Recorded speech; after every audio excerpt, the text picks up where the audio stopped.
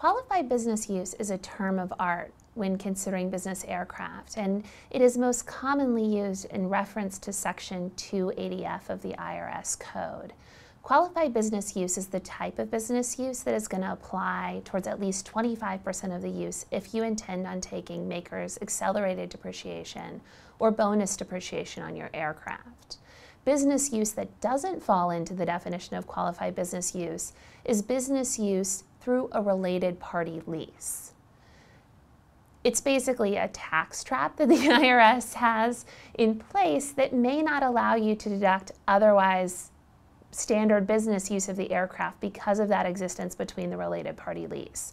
So you want to make sure when you're using your aircraft for business that you don't have a structure that converts business use from qualified business use that keeps you on an accelerated schedule to something that would not be qualified business use for IRS purposes.